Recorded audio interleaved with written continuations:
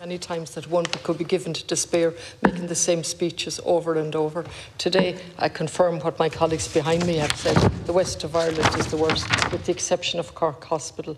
Um, Limerick Hospital has the highest number on trolleys. My own hospital in Galway has 44 on trolleys, 36 on trolleys in the accident and emergency, and eight hidden away in wards. And I've made the same speeches over and over.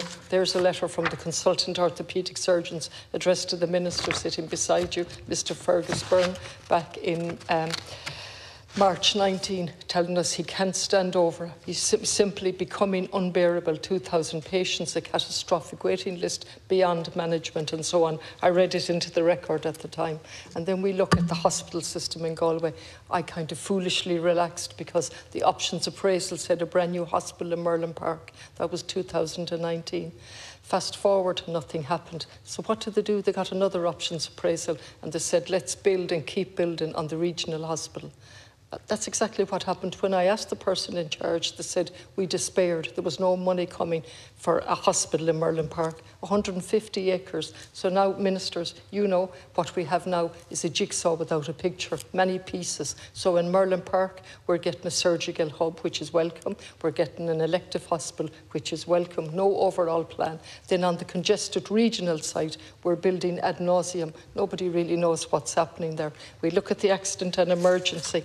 Look, I've history of it here, no time to read it out. But let me tell you, the then minister, who's now the Taoiseach, a new building was the only solution to the problems in UHG 2014. And fast forward the whole way right up to 23, and we're still waiting for a new not new hospital because it's gone off the um, agenda, which I think is absolutely wrong.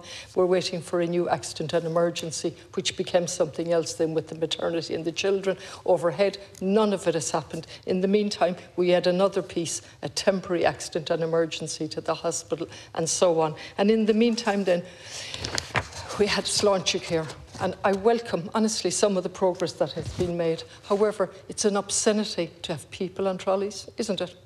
I mean, how many people in the Department of Finance or Public Expenditure have spent any time on a trolley? I'd really like them to tell us that. How many ministers have spent time on trolleys? One day, two day, three day, four days in Galway, their average times. And all the time we know that that's worsening the mortality and the morbidity rates amongst patients.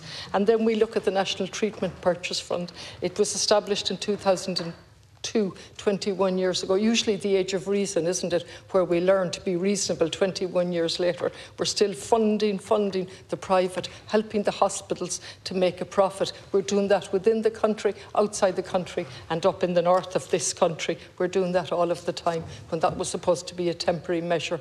When we're not doing that, we're letting the, the um, lists build up and the very doctors that are not seeing the public patients on the public list still are now seeing them on a private list sometimes in the public hospital, sometimes in a private hospital. Lately it was brought to my attention somebody waiting on a public list with unbearable pain in relation to hip replacement comes up with to borrow from his family 12,000 euros to get the operation done by the very same consultant that couldn't do it on the public list.